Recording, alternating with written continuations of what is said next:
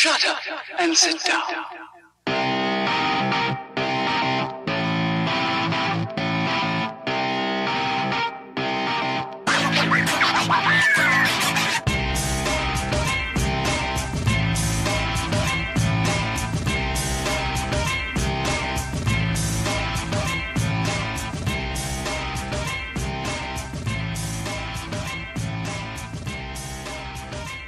Hello, everyone, and welcome to Geek Grills, a podcast about geeky things hosted by women. I'm September, also known as 9 of 12, and I'm here with my co host, the Jen, Hi. and Chris slash Lunescence. Hello. And we have a guest grill today, Mandar. Say hi, Mandar. Hi, everybody. So, um, Grills, what have you been up to recently? Warcraft movie again. yeah, so I went I did go see it again. Um I also loved it the second time. Um Did you see it and 3D both I times? I can't see it 3D either time. So it is a sad thing that uh 3D requires two functioning eyes to work. Uh so with one of my eyes not functioning, I can't actually go to 3D. So I'm terrified that someday all movies will be 3D and then I'll just have to have this weird magic eye screwed up experience. It's like basically it looks like a magic eye that's broken if I go to a 3D movie. oh, weird. So it's not very effective. Ew. But I, I just did went do- 2D for because it gives me vertigo. Jeez. Well, yeah, to be fair, some of those 3D movies are kind of intense. Um, from what I've heard, not from what I've experienced. I wouldn't know. Um, I've also been watching Rome on HBO since I got, I finally finished West Wing. Um, I had never seen West Wing all the way through and I just finished it. Um, that took me three years of Netflix occasionally to finish it. And I finally did. It was amazing. If you've never seen that show, go back and watch it. Even years later, it's still great. Um, but now I've started Rome, so I'm I'm enjoying the historical, sexy people and fighting and politicking and everything that comes with Roman culture. So that's been pretty awesome. Well, that's Yeah. neat. I never heard of it, um, but I also don't have HBO. So, That's the one with Titus, right? Uh, that is Titus. like Christopher is- Titus? No, no, no. The character Titus. is Titus. Oh, okay. I don't know. I know. I know that we've got Pompey and Gaius Julius Caesar. And there's Yeah. only two seasons, Oh! right? Oh, oh, oh, oh, oh. Um, you're talking about the soldier guy. Yes. Yeah, he's cool. And then and then the other soldier guy. Um, yeah, so obviously I've just started it because I know all the characters really well. Um Uh, I've been playing lots of Heroes of the Storm. I did finally get placed in the Paper League, so I'm Bronze 5, woohoo. Um, I'm officially terrible at Heroes. Um, yeah, that's been fun. Um, no, I'm just kidding. I've actually, it has been, the, the Hero League has been very tough. Um, but it, it is still fun. I'll keep playing it, except for the fact I tried to queue and I'm one game away from promotion into silver and I sat through two five minute queues with no match, so I don't know what's going on. Oh, Apparently, there's Wow. nobody else in bronze five, so I don't know what that's about. how were Yeah. how were your placement matches? They were great and then awful. So I won the first four and then lost every single one after that. Oh, And the ones that I lost after that were usually because somebody would ban or not ban. They would either ban somebody silly or not ban at all. Generally just frustrating. But I mean it wasn't terrible. Um and then I have been trying out new heroes though, so that's been exciting. I've been learning to play new heroes that I didn't know how to play before, so that's been that's been enjoyable. And then I did finally pick up my collector's edition of Overwatch that I had forgot that I pre-ordered uh, months ago. And the nice gentleman The baby Well- Winston. because I bought the Origin skin for PC and I had owned an Xbox One at the time, so I pre-ordered a collector's edition of Overwatch for the Xbox One, and the nice gentleman at GameStop called me after a month and said, "Hey, did you want to pick up your collector's edition?" And I was like, "Yeah, Yeah, I do. Oh, poor baby Winston And- was waiting for you. And then So I went and I was like, oh my gosh, I get a baby Winston. And they were like, yeah. And I was like, oh, I can't come till Friday. Is that okay? And they were like, yeah. So I show up on Friday and I'm like, woo, give me my thing. I'm going to pull out my Soldier 76 statue. It's going to be awesome. And then I was like, oh, my baby Winston. And he was like, oh. And he went through the drawer and he went through every drawer. And I was so sad because he was like, no, I don't have any left.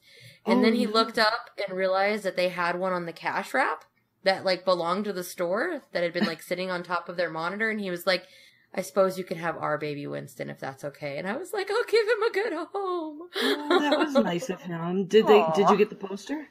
I didn't get the poster; they were out, which was sad. Um, but I did get the baby Winston, so I, I guess it's a not not a total loss. And then the Xbox One copy is going to go to my little brother because he still has an Xbox One. So, but yeah, I just think it was funny. They were like, "So do you want to come pick this up?" And I'm like, "Yeah, I probably should go pick that up. That's an excellent idea." I, I I bought that, I- so I'm gonna be more cautious about pre-ordering things and make sure I send myself some kind of a like a calendar reminder or something, so I don't forget that I've already purchased items Look at the before. thing. Yeah, so yeah, but I'm hey, at least they were nice enough to call me. They could have just sat on it for who knows how long. Yeah, But yeah, they're pretty good about nice. stuff like that, though. Yeah, so I have a baby Winston now at my desk at work, which is cool. So that's Ah. what I've been up to. My son Whew. ganked mine. Oh no! So, Loon, what have you been doing? I did see that you got a, a really good rank in Heroes of the Storm. Is it? I think it is. It ain't Uh, bronze. I'm in bronze. Uh, yeah, I ended up. Um, I did my ten placement matches and I won. How do you divide ten in half? Five, right? Okay. So I won. so I won six and lost five, I think. Um, and got placed in silver rank three. And so I was just happy about that. I was like, I didn't know if I was going to get silver or bronze. I had no clue because there's never been a silver, bronze, gold ranking before now. So Yeah, not in uh, Heroes, but it's interesting mixed reviews about the new system. How long did that take you to do? Mm, ten times a half an hour each time. So, So about five hours. yeah, and I did it over two days. Um, yeah, So you just binged some serious, Yeah, I played- serious Hearthstone. six games one one day, and then For four the next. Yeah, and then I tried to play two ranked games in silver. Won one, lost one. Then then I quit. and then in Hearthstone, um, there's only about nine days left as of this recording. I've gotten up to rank 14 in both standard and wild. Um, I'm not pur- purposefully trying to play in both, but checking out wild a little bit, and then um, uh, test testing out my really really really fun dragon paladin deck, and then testing out the deck that I want to use for Dills's pauper comp- comp- pauper competition this weekend, and it was doing really well with just basic and classic cards. I'm like, okay. I'll That sounds this really fun. And I That's don't know gonna if be you if you caught it, um, because Dills and I had chatted briefly about it. I think in our Slack, um, but he meant to articulate that we can use wild cards. Well, I don't think it really matters if it's basic or classic. Right. The idea is is that you can use common cards, but the common cards can come from It can come from the the wild stuff that's it been doesn't eliminated. have to be Oh, sure. all it doesn't have to be all standard is what is what she's saying Right. and that's true which i think is awesome i think it's going to be really fun uh, we used to do tournaments like that in magic so i think it's going to be a super good time now what have you been running in standard i know i've been watching you chatter about different decks so i'm curious what your what your main deck you're running in standard is right now My goal is to get all of my heroes to golden, because just because I don't think I'll ever reach legendary anytime soon, if ever. shinies are shiny Yeah, so sh- so might as well use that as a goal to keep playing. Uh, other than the fact that the, the, the that the game is fun to play in and of itself. Um, but uh, so I haven't been wanting to play any of my current golden heroes. I have four of them, but the decks and the other ones that I don't have aren't work aren't helping me climb very much. So somebody had mentioned in Slack in Dill's Slack Patreon Slack channel um, something about the Yogg and Load Hunter deck, and I already have a Golden Hunter. But I'm like, you know what? I keep hearing about that deck, and it sounds like fun. I'm gonna try that, and it it rushed me all the way up to 14. I'm like, okay, this is fun. I like this deck. This is actually a I might have to lot of check that one fun. out. Yeah, winning is totally fun. Yeah, Yeah, winning is totally fun in Hearthstone. That's true. and I'm using um, I think it's Ceviche's Yo- Load version. Cool. That sounds super fun. I need to get into Hearthstone. I may I'm gonna get my my deck back or I'm gonna get my card back this month, but I don't know if I'm actually gonna care past that this month. I've been to Heroes of the Storm and Overwatch and Warcraft movie and too many Blizzard games to play. Are you playing in the tournament too, Jen? Oh, of course. What class did you pick? I think I'm playing a pala- a paladin. What class did you pick, Loon, for the? Uh... Priest. I went with shaman. Yeah, I was gonna I was gonna bet money that you were gonna go with shaman. it was kind of stupid. It was kind of on the fly, but it was like, hell with it. I'm doing it. I might even put a crackle in there. That's not a bad idea. Just just just for Garrett. Yeah, it's just I I love the shaman too, and I know it can suck. and even though it's been fine lately, and this restricts me with the common cards and such, uh, with the new ones I should be okay. So I also have been finally reading the uh, World of Warcraft Chronicle Volume One that Dark Horse Comics put out. I bought it a while ago, and I lent it to a friend of mine um, that we go we we've been going to nerd movies together uh, with a group, and he doesn't play games, so I lent it to him, so he'd have some kind of background, and then he never, pretty sure he never read it when I uh, got it from him after I saw the movie, and I did want to read it before then too, but it's okay. I at least had some history. Um, so I'm finally digging into that, and Father's Day find, we went while Rob was at the con and found a graphic novel. My local comic book store was like, I know we didn't get you that other thing, but we got this other thing and I thought you might like it, so I eh, put it aside for you. And it's this hardcover. It was actually published by Legendary and Blizzard Entertainment. And it's Warcraft Bonds of Brotherhood. It's apparently the official prequel graphic novel to the major, major motion picture Cool. Yeah, the art is gorgeous. Um, I opened it up and I was like, "There's a troll in here. we didn't get any trolls in the movie." I know. I, I that's the one thing I hope for for the next movie. Spoilers, by the way. Spoilers. There's there's no there's no trolls in the movie. I actually thought when I saw the preview, when I watched the previews, that Garona was actually a troll because the female trolls in the game stand straight up, not hunched over. Yeah, I. we're- Oh, Garona. All right, we can't we can't we can't go down that road. I'll be So here for that- two yeah, hours. we won't I'm go back so, down that road. So many things. Uh, so Mander, Mander, Mandar, what, how- Mandar. What have you been up to in your in your little geeky sphere? Uh, uh, my soul has been slowly consumed by Dragon Age. Um, Which one? Inquisition. Nice. I uh, Mm. I rage quit playing Origins because Alistair made me very angry. Why? Um, you know, you can't like marry him if you're an elf. And oh I, yes, I know. and I was just like, I quit, burn in hell. Um, and then I didn't play two, and so I started playing uh, Inquisition, and I'm on my third playthrough, and that's uh Nice. I had. combined like 240 hours of gaming. Dang. Wow. Okay, so you would recommend getting Inquisition because I haven't gotten it yet. I would recommend getting Inquisition because that game, like I've I've seen a lot of BioWare's other games just from watching other people play them, but that's the only one that's basically eaten my life. Um, enough that my roommate was actually threatening me, like if I didn't stop playing it while she was around, because she was tired of looking at it. and then we're also Just can't look at it anymore. yeah, and then we're also playing Dragon Age Tabletop.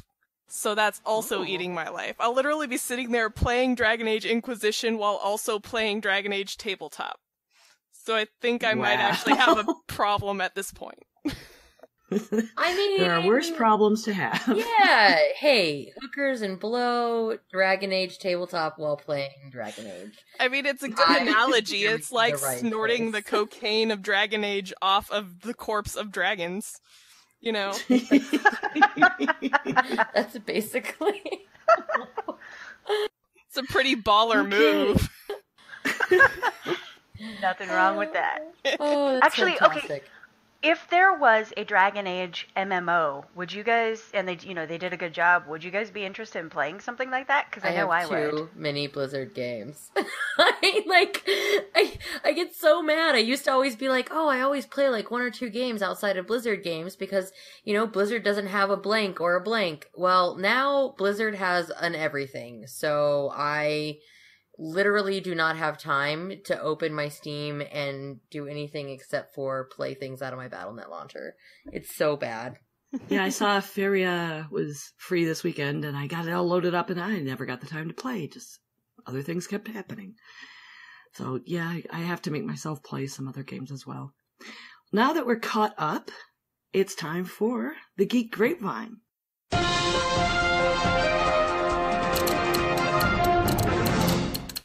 So we have news about a new Tesla model. Jen, Well, you want to tell us about this great thing?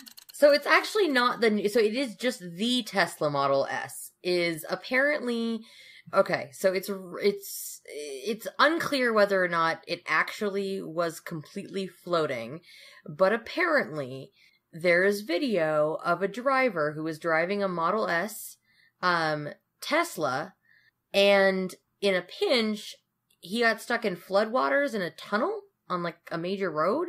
And there the video shows and there's argument whether or not it was completely floating or not but essentially the the car didn't go down.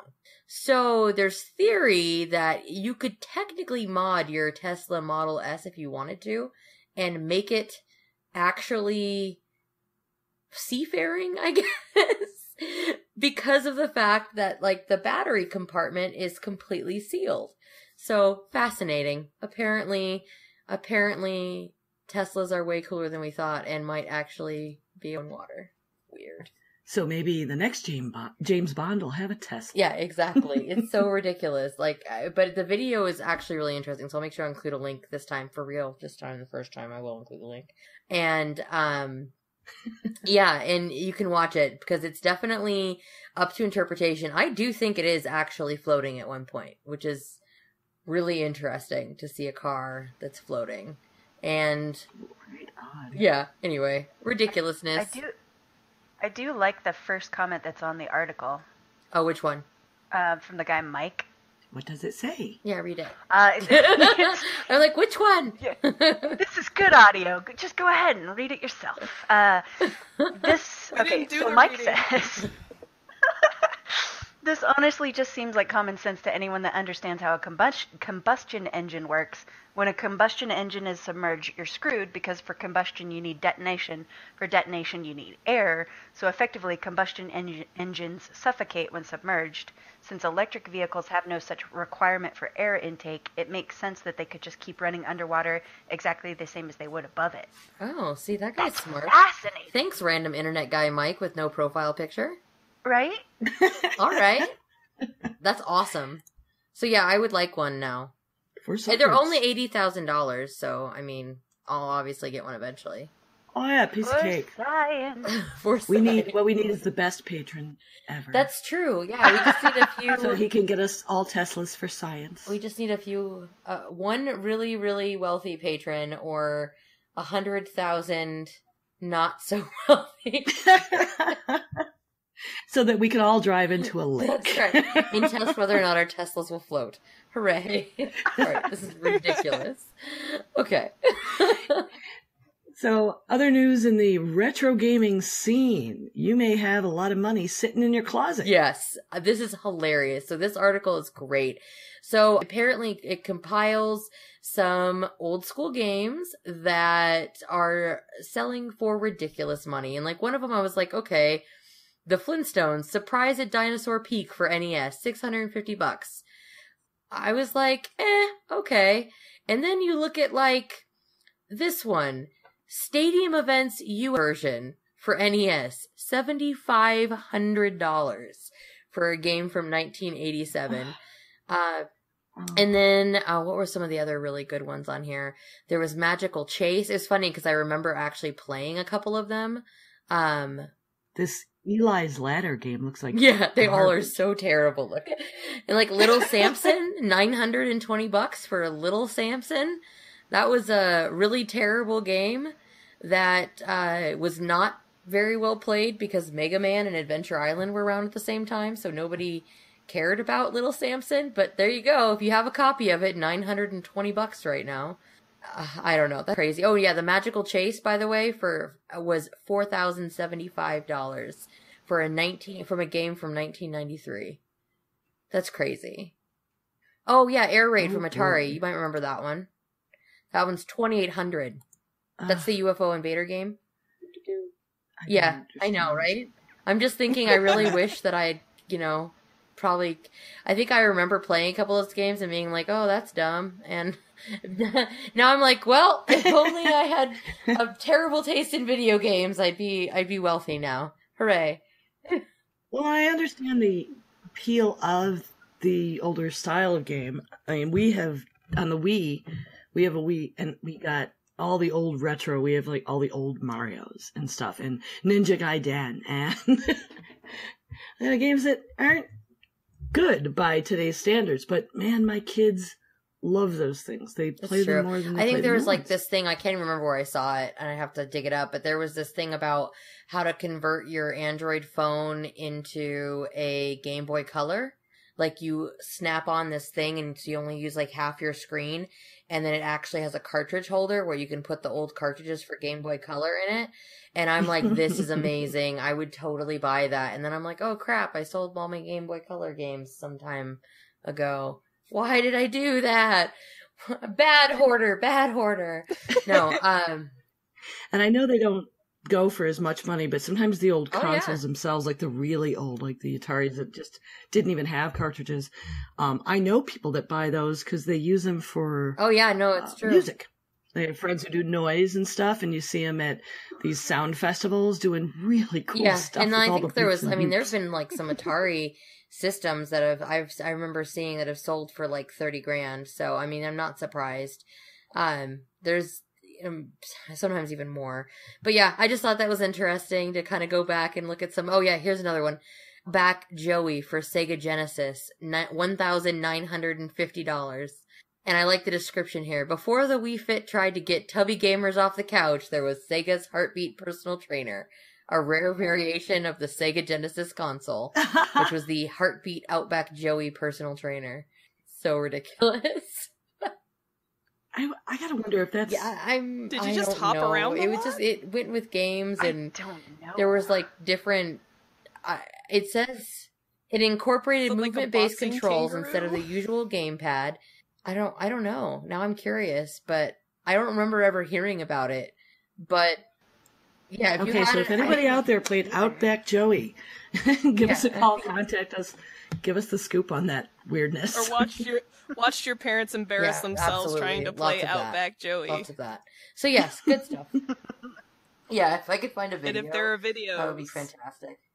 Yeah. Oh my gosh. That's on on beta or something. So yeah, so that was a little a little fun thing I dug out this week. I think um I I have been busy busy bee this week, so didn't dig any other fun articles out this week, but I thought those were both terribly humorous. Well, thank you. I appreciate it. It's very interesting. I didn't find news that I hadn't heard covered 15 times already, so good work. now, for our main discussion topic today, uh, we intended to talk about the resurgence of tabletop gaming. Uh, in my research and talking to a lot of people, I question whether it is actually a resurgence, but we can get into that later. Um, and this is part of why we had Mandar, Mandar with us today. So let's let her start. What kind of tabletop games, do, well, other than we know Dragon Age right now, are you really into and how long have you been playing and that sort of thing?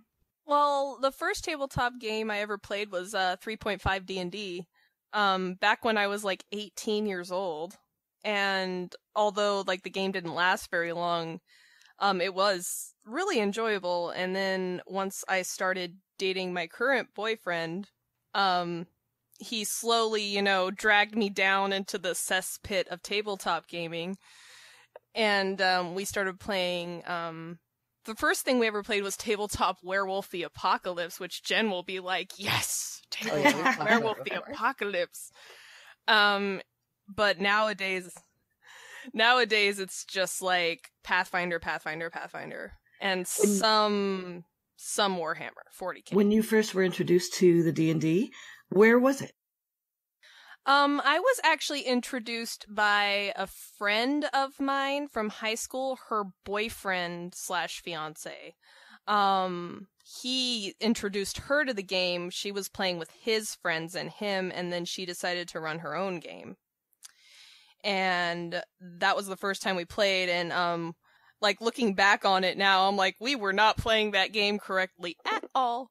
But it really doesn't matter. I mean, the rules in every tabletop LARP game will say the same thing in the introductory chapter. It's like these rules are here to help you run the game, but they're not here to make it b- fun. You know? That's the Yeah, part I like to quote back rough. at the I mean, rules I- I know that step in. she and I can both Yeah. relate. We know some of the same LARPers that we've both story told before where we're just like, sometimes you just have to be quiet and accept, well, In a it's, LARP? it's special. That's yes. intolerable. I mean, it's bad enough in your average tabletop game. Well, and But it's in a also LARP, like, what a yeah, way- way to yeah, wreck exactly. the That's the that's that's the Oh, hardest God. part. But the, it's the same thing happens in tabletop. I mean, when I ran that game recently, where I was just like, really, like, why are you getting so particular? Yeah, I had you roll eight dice this time, and I gave you this difficulty. It's different this time for reasons I'm not going to tell you because I'm a storyteller. So shh. Because I know things you don't know, dirty peon. Now be quiet. That's Right? basically how that goes. It's like, stop questioning God. You're gonna get hurt. oh, a pit trap. Not trap so opens worried about that other thing now, are you? Right? Everyone dies. Are you? Like- You'd be the DM version of that teacher that's like, either you tell me who did this or everybody gets you extra sit and be quiet, or the whole party dies and has to pay for a res. You have to pay for the Oh. reses. now, I had thought when we first talked about talk about tabletop that it had really had this resurgence. I mean, my son's tabletop club at NC State has grown quickly. Um, I guess it might be partly because of you know who's caretaking it, doing what they're supposed to. Um, but I thought, oh, maybe it's just you know more popular now because now geek's cool, and it wasn't when I played. But I mean, other than a brief uh, game that when my neighbors bought the first D and D in the seventies because I'm old, um, I didn't play again until I was in high school, and then a lot more in college once you know I could do things like go to the game shop, and I did go to visit him recently, and ended up hanging out with a whole bunch of his friends. So I was asking him like, "Did your parents game?" None of them.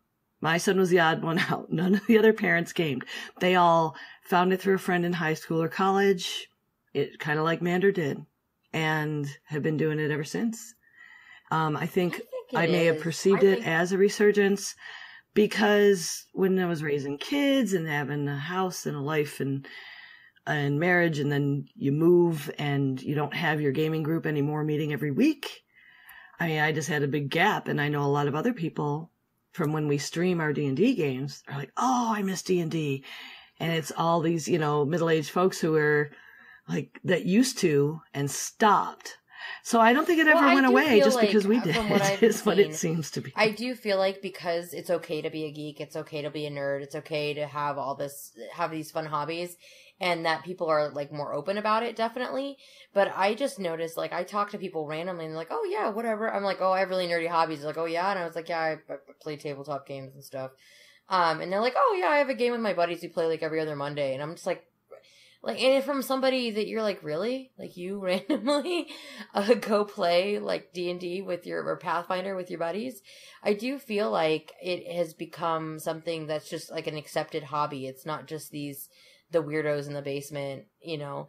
I mean, for me, Oh, absolutely. Like for me, I got started. Yeah, people definitely talk about it more. started with Tabletop, so I'll have to find out that next. But for me, I lived in the middle of nowhere. And so when I was younger, it, you know, we used to drive 45 minutes to get to my friend's house. And so I'd be there for the whole weekend. And that's what we would do over the weekend. There was nothing else to do. Everything was closed. We lived in the middle of nowhere. So we would, we would bust out a tabletop game and we'd play a campaign for a weekend. We'd play a continuing story. Sometimes we'd spend two and a half days making characters that we never actually successfully played. You know, those are things that happen all the time. Uh, but that's how I got hooked Woo. into it. And then in college, I didn't really get a chance to.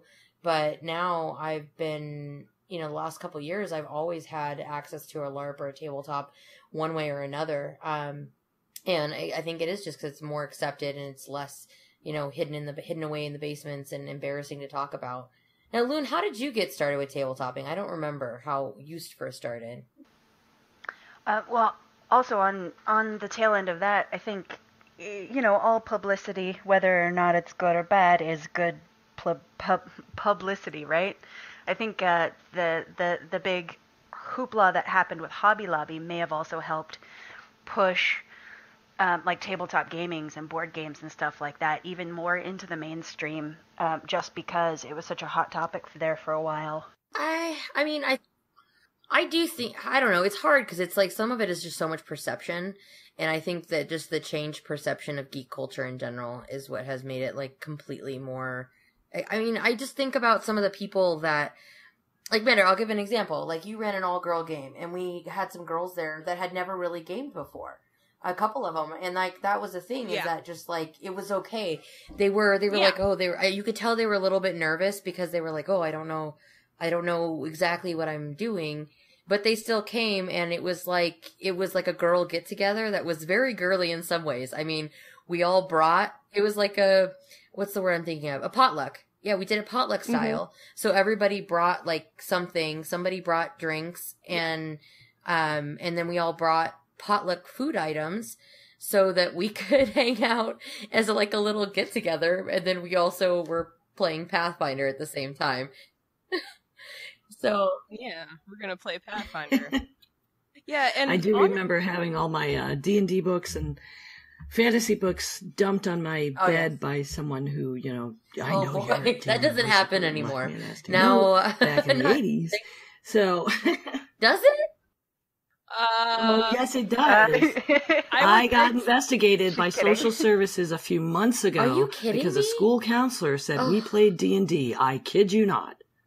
Yeah, I my, mean, for, my for- ex- for- it was the best part was the the one who showed up to investigate not only was like, "Wow, okay, so this is ridiculous because they're saying that you you are, you're a Wicca and you play D and D," and I was like, "Yeah, well, we read Harry Potter too, you know." And the social worker was wearing a Ravenclaw lanyard. At least it wasn't a So Hufflepuff. it's- then you know you're. So, uh, yeah, the school counselor, I, I believe, got a little talking to about what is not a freaking issue. I wish that that was. and uh, let alone the religious discrimination that uh, I, I took to the principal of the school and was like, uh, no, don't. I'll call the ACLU. yeah, I was gonna say you're in politics. You're not a good person to like talk to about and threatening like Yeah, basic you got the wrong basic girl, civil so- rights. Hello. I, I mean, I But grew it's up still here. happening. Is the I grew up here in California. My parents were still kind of like, "What are you doing?" No, what? I mean, that's true. My dad used to always go, "You're gonna go play your devil game." I guess true. I guess he used to say that, but I would never really take it seriously. I was just like, I would always argue. Of course, this was LARPing, but I mean, it's similar. It's in the same vein. And he would be like, "You're gonna go It's much He's like, closer. I'm gonna go play your devil game, and I was like, hey, you know what? Honestly, Dad, it's cheaper than a movie. I get to make up the story myself, and I'm not out like doing drugs and I don't know. Not that I mean, I I use that as an example a lot, I guess. But I mean, apologies to people who that's your lifestyle. But I mean, the point is, is that I'm being safe. I'm doing something that's fun. There's nobody being harmed in it. I mean, for the most part and uh you know it's cheaper than a movie like that was always my argument but i guess he did always make comments about that and he was more of a cool guy when he was in high school like he was like a, a, a Yeah, Yeah, jock my or ex-parents-in-law, cool they used to think that um, World of Warcraft was witchcraft. So well yeah didn't you know that da- dps is is deaths per is d- deaths per second. Well, Do you remember that guy that or that uh was it a woman? The woman who played the rogue, uh the War- World of Warcraft rogue player who uh ran for a seat in the I think was a Oh, representative yeah, in Maine and she was a rogue. She played World of Warcraft and they found it and they were like, she plays World of Warcraft where they use such phrases as DPS, which stands for deaths per second. And it was like, and it was, they like, they pulled Oh her my forum gosh. posts where she was talking about like, oh yeah, my DPS is much better now that I switched to this spec. And they're like, remember PS stands for deaths per second. No, I remember this. And then she was like, she went um on the record as basically being like, "What is wrong with you people?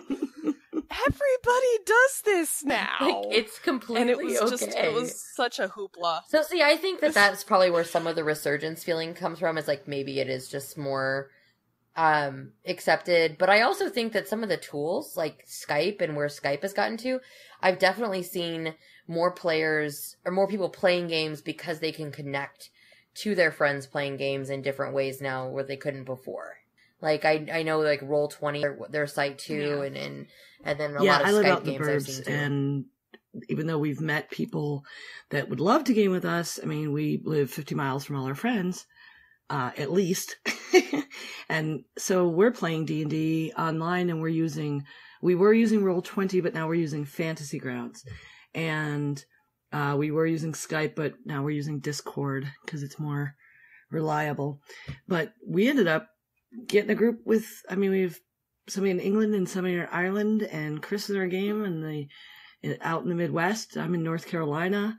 Uh, when we first started, uh, we had a different DM, uh, Michelle from Prince Edward Island, which is interesting because he's I, we we met him online in WoW, but he is from where my husband was born.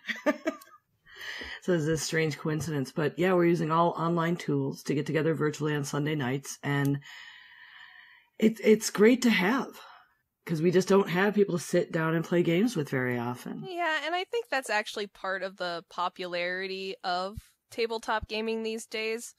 Because when I think about it, you know, when I was a kid, we used to spend a lot of our time basically playing pretend, but I don't think that's as common as it used to be.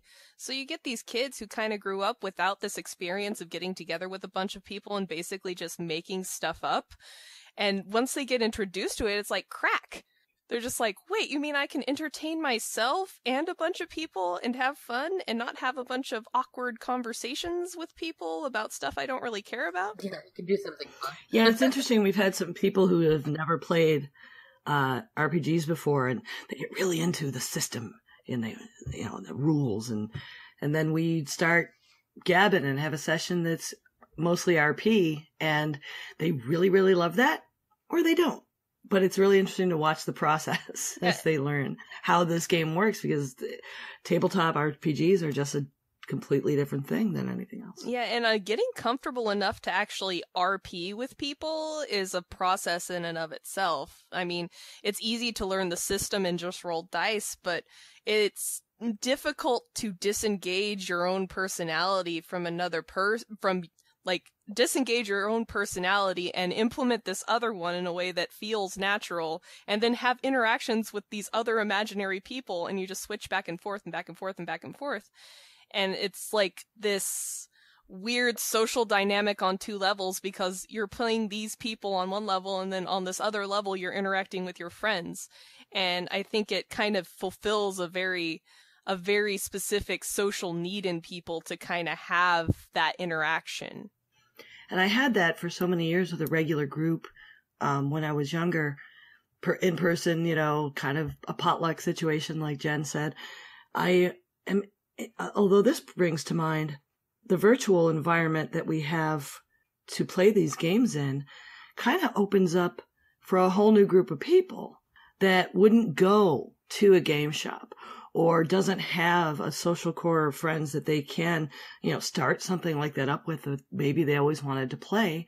You can find people online and have that that if you have like social anxiety or whatever still be able to step in and use it as, as a tool the way that mmos have helped a lot of people with social anxiety be able to form friendships and and grow Oh, and the things that, that I've way. learned from Yeah, and- tabletopping and LARPing have turned me into one. Yeah, no, it really does adult, help, let me tell especially like if you have social anxiety issues because it gives you like almost a uh, a mask you can wear to interact with people in a way where you feel safe, but you also can basically practice aspects of your personality that you've never really practiced. And then slowly over time, you begin to trust these people as the people that they are, and then you become friends that way instead of doing it the other way around, which for some people is really kind of necessary. They don't really trust other people that way very easily. I can't tell you how many people that I've LARPed with whose real names I didn't know until like a year after I'd met them. yeah, that can be a great experience. And you look at personality archetypes that games have when you're making your character, and I think it can let you try things out, discover who you Yep. are. Very similar to being in like a raid group in WoW as well. I think you learn you learn a lot of of neat life skills, organization, and how to deal with people and personality, different personalities and stuff like that. Conflict resolu- resolution, things like that. Yeah, guiding. I like- love Oh, sorry. Go ahead. I say I love that that's actually starting to show up on resumes as a, a valid thing to cite, like running a guild. It is valid. It's like it's Nice. difficult to hold eight people on a single task over hours of Oh, time. exactly. And then be able to keep them focused. I mean, and and herd the cats. Yeah. I mean, absolutely. Or or try to create a story that's satisfying the fact that one of your players needs to be the magical, most amazing, magical snowflake spell chucking mm-hmm. magic, magic, perfect person, and then you've got somebody else who wants to have some kind of like Uh, emotional, traumatic, but over at the end redemptive story and all this. And then you've got people that, you know, they just all want different things and you're trying to, okay, how can I satisfy all these players with these different needs and, and still have a cohesive Yeah. story? That's a skill. That is a, a skill. And especially when you're like having to deal with that and the rules too. It's like, whew, okay, how do I make this happen with this set of guidelines? What guidelines should I just not use? Hmm. Who's gonna get in a three hour long Exactly. argument with me if I don't use them? exactly. Right? Oh yeah, that's the other one I totally fight? forgot. Oh. I how do I solve it? I kick it. I push it down. I hit it with my sword. I hit it with my hammer. I punch it open. You come to a door. I punch it down. Okay, you could have just Yeah. opened the door. All right, Don't that's fine. knock whatever. the dwarven disable device. Don't sit in that chair, Trebizzle. Right? Holy cow. we we have a player in our current uh D&D that just has to do the thing. Whatever the thing is, he's going to go do the thing. No matter what else we're doing at the time, but there's a thing over there. I'm going to go do that and and just triggers and and then he's like you should thank me because it was getting boring.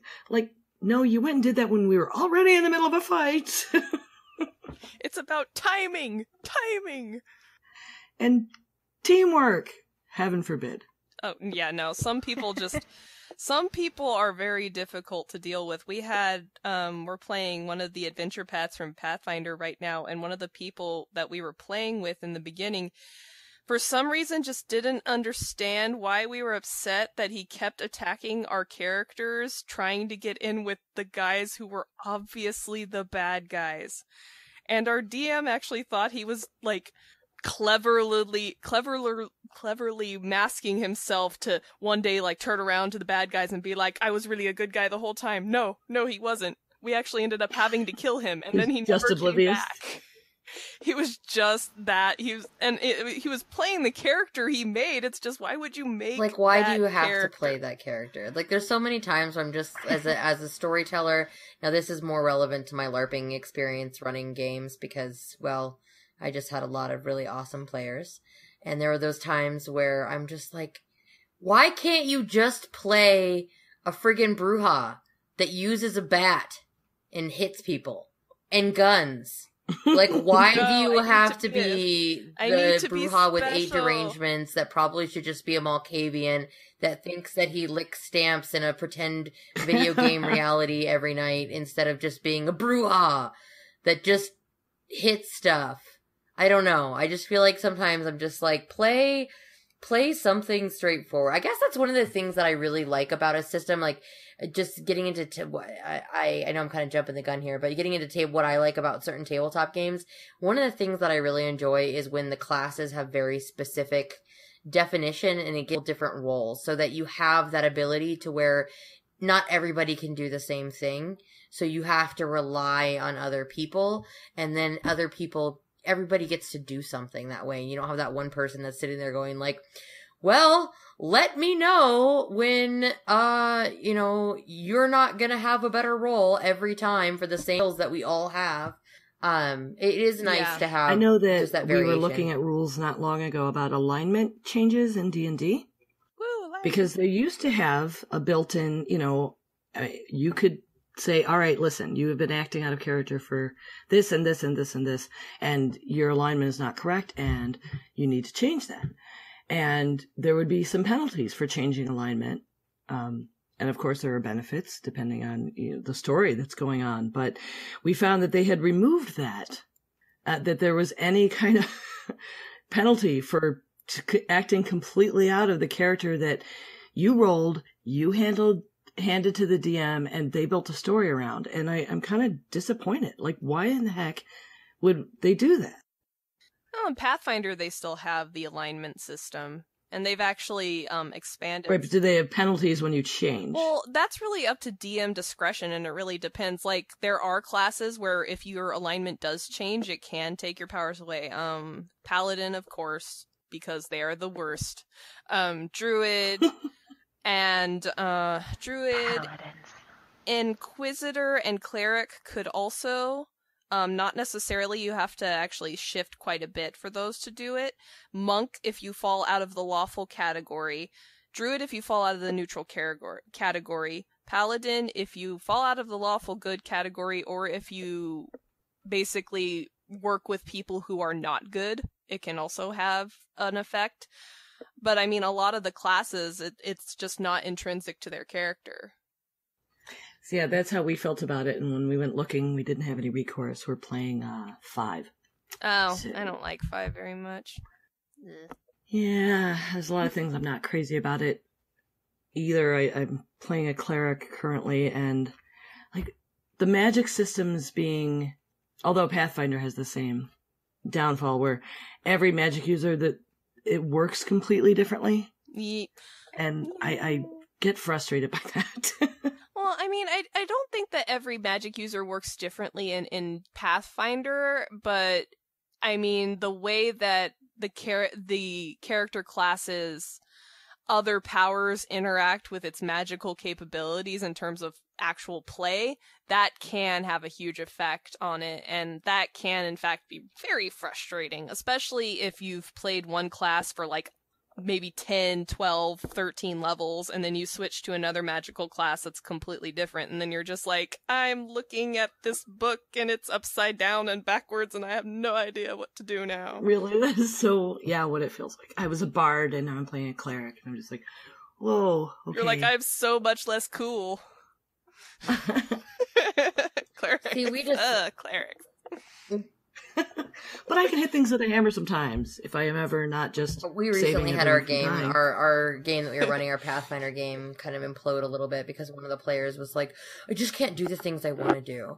And it was like what are you talking about? Like you're a wizard. You can pretty much do whatever you want. It just yeah. You're literally the most busted like let's talk thing about of how many busted times that you were like oh there's stuff over there. Fireball. Oh look there was stuff over there roll it for loot like i don't understand what you want to be able to do this that you door can't won't do. open.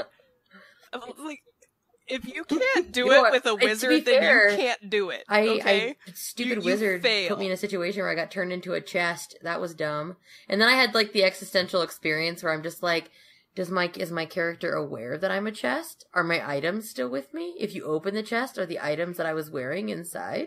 Like, how does that work? And the DM was like, it doesn't, it doesn't would- matter. I would vote yes.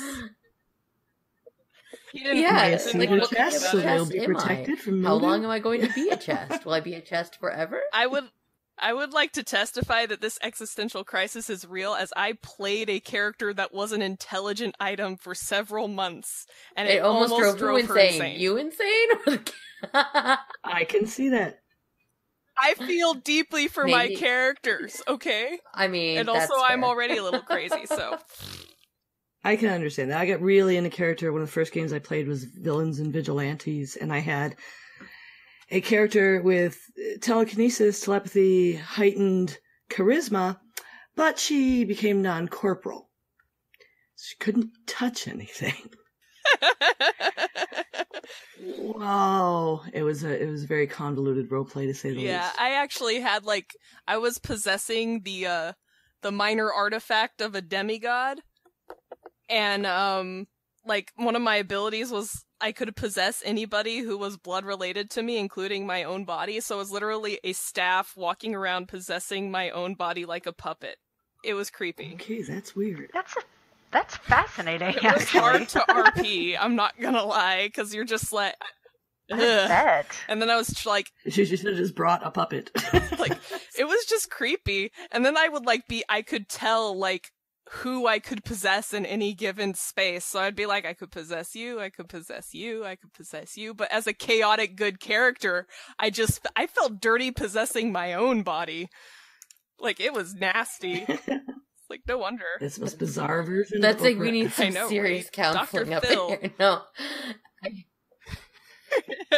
So bridging that would bring the ice bridging cream. into bridging into own your geek. Uh, it's just kind of a continuation of our current topic. Really, we're going to talk about what your favorite tabletop game is and what makes it good. Want to start us off, Loon? Chris? Sorry, wrong, wrong thing. Um, I don't know if I have a favorite tabletop game. I'm a fairly n- noob uh, tabletop gamer. I've played Modern and I've played Warhammer and I've played D and D. That's pretty much it. Um, so I don't. Re- yeah, yeah. So I'm, uh, you know, I'm, I'm, I'm a pretty noob, a noob sauce at, at the whole tabletop thing. But um, just in, for tabletops in general, um, I think like, like uh, we were we, we mentioned this earlier. I think the best part of tabletop gaming is you know being able to be physically playing with a board and tokens and dice and rolling you know rolling the dice and things like that, and um, being in person with other people, hopefully friends, hopefully making friends. So I think that's the best top best part Yeah. of tabletop gaming. And uh, let's go to our guest, Mander. What's what's your favorite, and what makes makes a tabletop game really good to you? My favorite is definitely Pathfinder. Um, I've I have the most experience with that system, but also I feel like it can, in fact, basically be whatever you want it to be, and if you know it well enough, you can build whatever character you want to play. Like anything that you could think up, you can build. Um, and my favorite thing, honestly, about tabletop gaming is just being able to kind of, like I said before, kind of relive that experience of being a kid and being able to just live in your own imagination and do it with all these people that you I mean ostensibly like. Sometimes you don't like them all that much but you know you know, being able to create something together that means something to all of you and do it for years at a time. Hopefully, hopefully it lasts that long. It can, although that's really hard on a GM. Sometimes you got to start over. yeah it can only be the apocalypse so many times. Well, that and it's like, well, don't you remember that a year and a half ago when we ran through the purple cave of blue diamonds, there was a thing where I clearly stated that I picked up the item and I was keeping it in my bag for later. I even wrote it down. So how can it be possible that now, and then you're just like, okay, seriously, dude, I'm sorry. That's just, I Avoid forgot. ate your thing. Move along.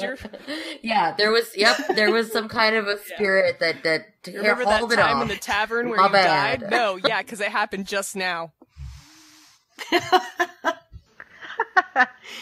So, Jen, what's your favorite? I so I like games where I can be creative, um, and I think that's always what has drawn me to White Wolf games. For example, they're dark, but there's also this uh, just such a rich tapestry to be able to to create a character. They're very system light. I mean, not everything has a you roll this and this automatically happens. Um, so I guess that kind of soul, storyteller type system works better for me. Um, I do really like that. I also just really like the dark horror aspect of it. I just like to, I guess, get my creepy, terrible, evil character on sometimes, apparently. I don't know what that says about me, but I still really enjoy it. exactly. I really enjoy it. Um, but I, I also think it's also, for, for me, it's fun to take a situation and be like, okay, how can I get out of this? And, or how can I manipulate the situation? And I definitely enjoy the role play side of things a lot. I, you know, it's obviously, if I'm just to go hit things, then I'm to go play World of Warcraft and, and play a hunter and I'm going to shoot things for a while or go play Diablo and swing a big old sword for like a couple hours. Um, if I, but if I'm in a tabletop, I, I do really enjoy that, that kind of opportunity to role play and, um, and interact with other people. And like, I think like Mandar said, it's all about like creating that shared story. It's really cool. It reminds me a lot of when I used to make music with people And or jam with people in I college. Like you're Uh, all kind of working I together. think White Wolf, I, I have to put on the, on thing, the top of the heap I- I don't know, I for really awesome. systems I like. I mean, back in the day when GURPS came out, I tried to talk any everybody into GURPS because it has kind of the same appeal as Pathfinder and as White Wolf. And you got well, not Pathfinder for this, for the dice being one kind, but for being able to take any kind of story you want and build it within one easy system because the system shouldn't be telling the story. It just is letting you tell a story. And I, I love the way the White Wolf games work. I had an amazing, amazing GM for years. We played of the Ascension and I ascended. I mean, the game, that was pretty intense. that happened. I broke the game. I mean, I've had games, I've had White Wolf games where I've actually like had to take a minute and like, like experience emotions and just be like, Yeah. okay, I need to package these a little Vampire bit. for 'cause years, holy and there's a lot of like, emotional stuff is in those intense. stories. Um, Um, but the mage one, yeah, that's again even for White Wolf top of the heap for me. The way the magic works, where you have the spheres and their correspondence, or entropy, or matter, or life, and as you get a skill in a sphere, you are making up your spells. You're explaining, telling the story yourself to the GM. I'm going to use entropy to that there's a gas main nearby and it's rusted out and it's gonna, you know, it's gonna give right now. And then I'm gonna throw my Zippo over there. And like you're casting a fireball, but you have to have a story to not, um, and, and you have to tell the story. Otherwise you suffer from paradox, uh, when you're witness doing magic. And it's just, it's brilliantly designed in, in my opinion. And of course, yeah, the, the GMs get all the credit in the world to me. I don't tend to run games very often, but they get full props for doing all that work and bringing us into a world and, and helping, you know, and, and when they oh, I let us create it building. with them, it makes the game better. Oh, I love it. I love tabletop gaming. It's so fun. If you've never done it before, go go find a game or the, go on the internet and find a game to join because it's it's fun. It's Go to your local shop, time. Yeah, or you go to know, your local shop. Start you small. If you're not always confident, I mean, there, there's tabletops that have a little bit of uh, role playing, you know, in them, or can be a stepping stone. Um, but there'll be probably people hanging around playing them that will answer questions.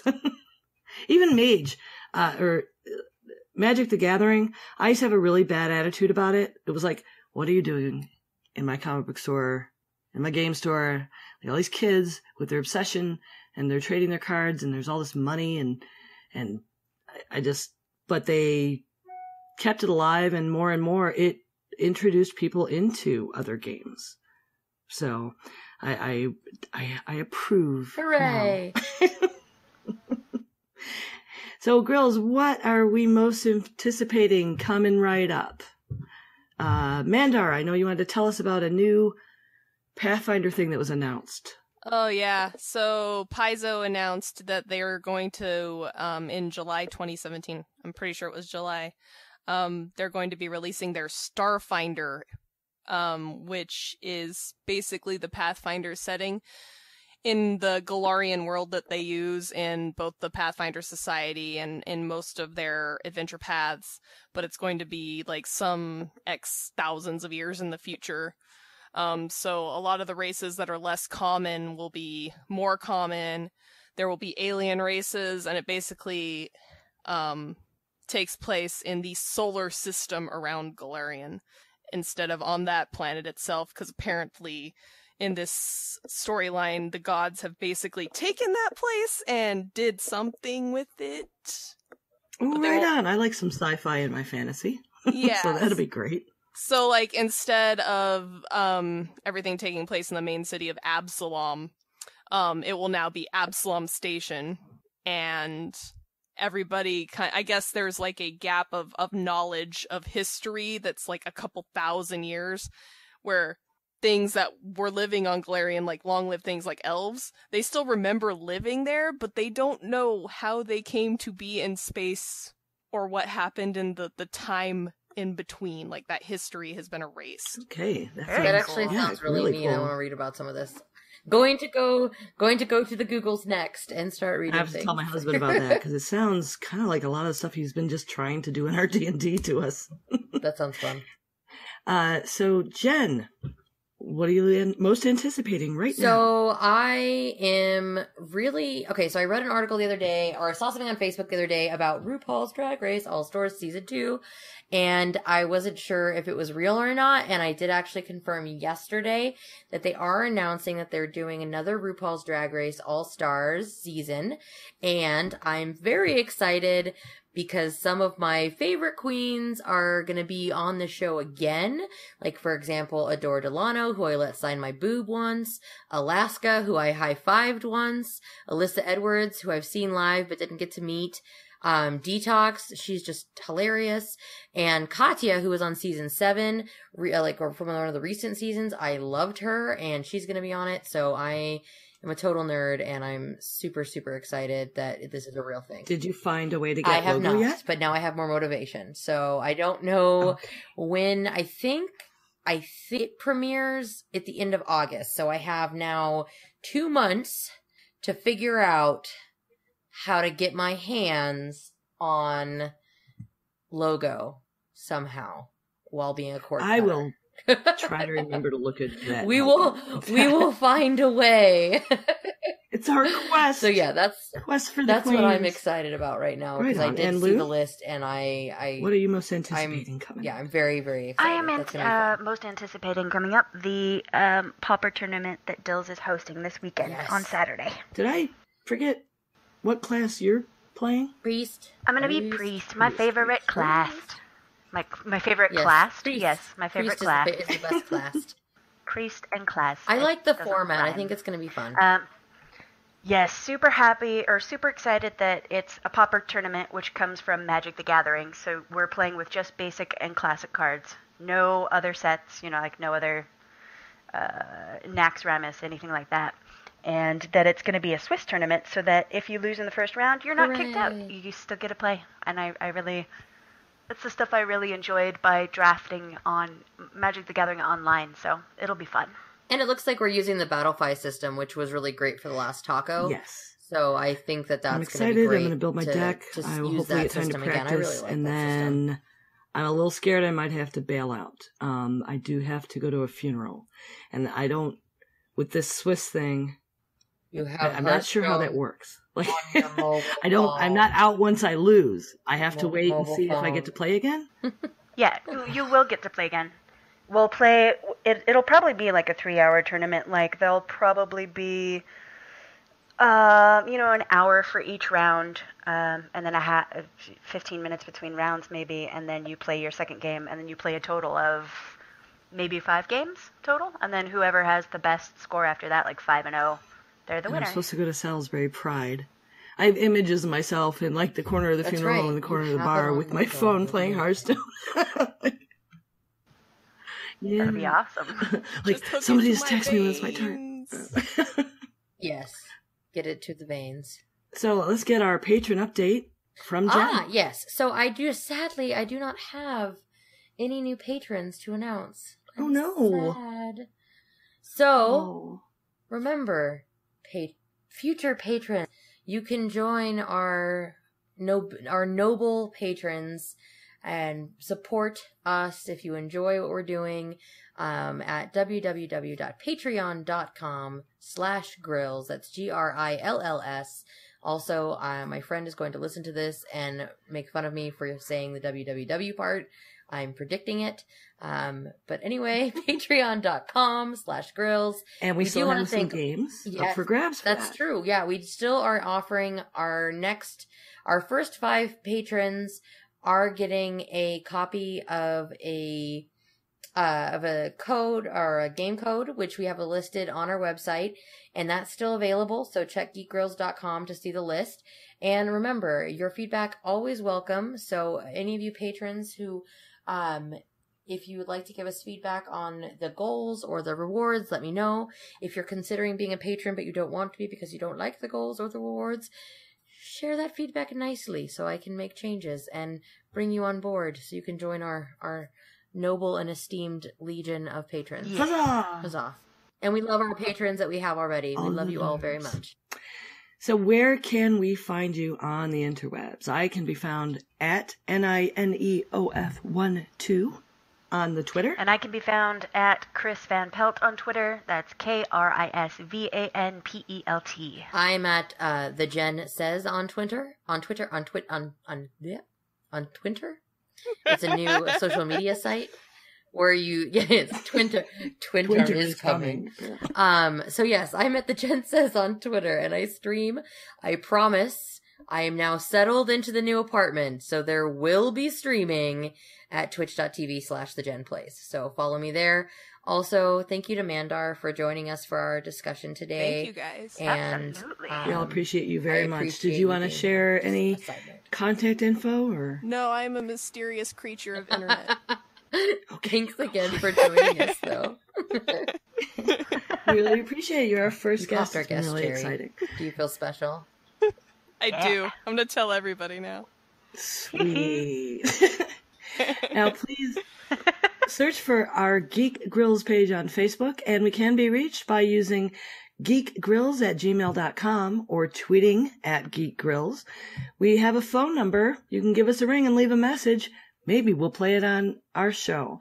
That number is 508 474 5577. That is 508 Grills 7 leave us your feedback, suggestions for future episodes, and any other, you know, well, you can complain if you want to. If you use iTunes, please leave us a review there. good Thanks game. for listening, everyone. Good game. Good game. Good game. Good game. GG.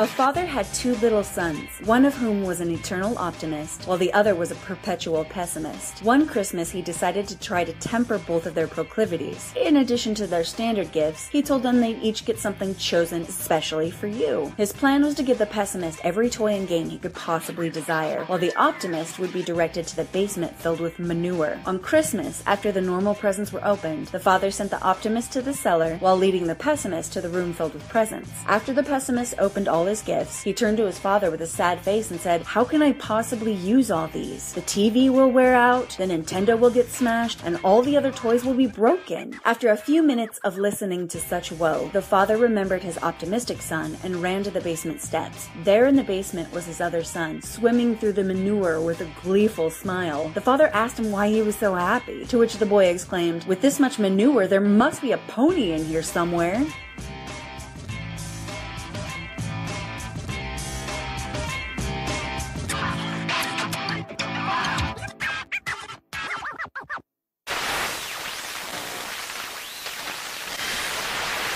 It's time for the Geek Grapevine. Jen, you had some, yeah, Yeah, ding. That's Ding. actually a good. That's that's a good spot to know where to put the bumper. unintentional bumpers. Thank you, Facebook.